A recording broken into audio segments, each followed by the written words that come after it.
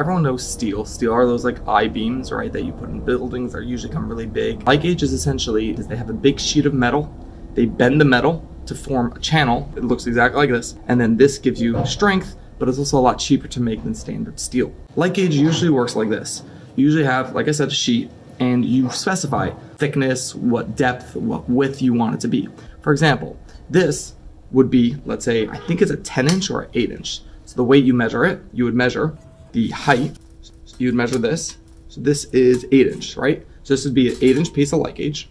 And then the top, the flange would be, this is three and a half. So the way this nomenclature, the way you would spell this out, is it would be 800 and then S, that's the company, but it would be 800 S 300. Now, how do you specify the thickness? That instead of saying thickness, we say gauge. Gauge measures the thickness of the steel over here. So the way you'd measure this is you could either have a uh, tape measure or, give me a second, you have something like this.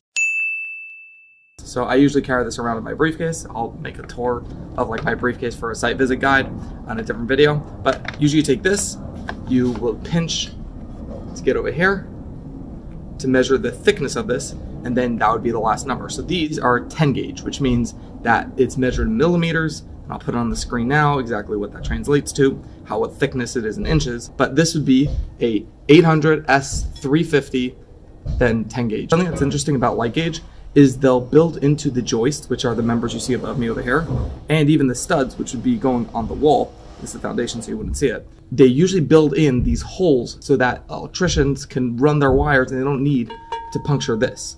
So, uh, this is a lot bigger piece. Like I said, this is a thicker gauge, which means it's a heavier material. So this is kind of support a lot more weight. But as you see, there's a hole right here. This hole is usually used to run wires and they'll occur pretty regularly throughout the joist. An issue that will arise with these light gauge joists, like you see up here, is that these joists will usually be very thin and if you have very long joists from wall to wall, they'll tend to buckle. In other words, they'll want to do this.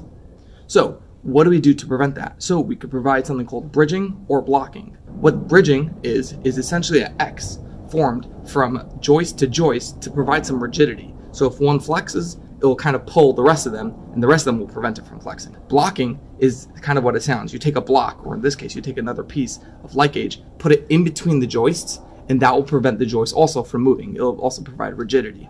So like I just described, right there where I'm shining my light is a case of bridging, and you'll see one right above me over here as well. And as you can see, like before, right here, this is to provide a hole so that they could put their wires through the flooring system and not have to worry about punching holes through their joists and reducing the capacity later on.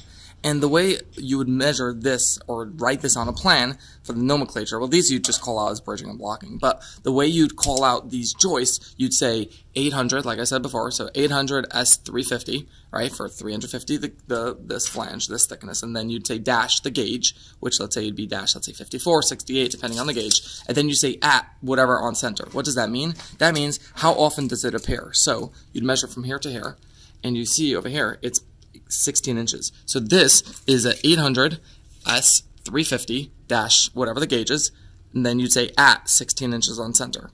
Now I want to show you one more interesting thing right over here. So you see over here, next to this staircase, which this is going to be a staircase further on, you see this double joist right here. This double joist essentially is back-to-back -back joist, or it could be created like a box. And what this is, it runs all the way across and it runs this way. And you see how many joists this is supporting?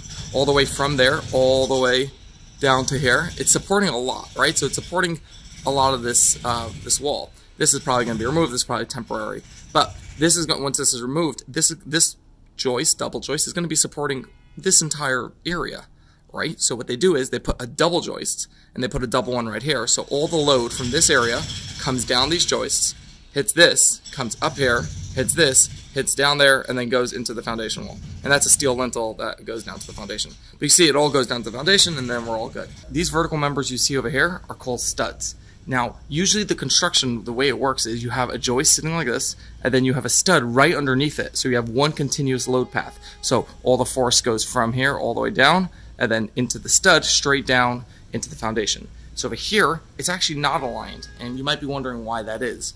The answer is because these joists are actually pocketed into the brick wall, which means they're not being supported by these studs you see over here. They're actually being supported by the brick wall that are sitting inside the brick wall.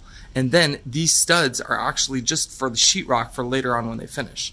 And an interesting thing you'll see, I'll zoom in, you can see these joists, you see that little piece right there, right over there. You see they have them, all of them have them inside. They're stiffeners. What they do is exactly what the description is. They stiffen the joists so that when the brick sits on top of it and all the load comes from above in down onto the joist, this stiffens up that portion of the joist so the load could continue to travel down down the brick all the way into the foundation. Here you see these empty holes. These are where the pockets that the joist would sit into. So you see over here, these were newly installed. They went right into. These are the old joists that they removed. They didn't put any new joists in there because there's going to be an elevator and whatnot here. But the point is, the joists are not sitting on the studs as described earlier. They're actually sitting inside the brick wall, as you can see right over here, inside these pockets.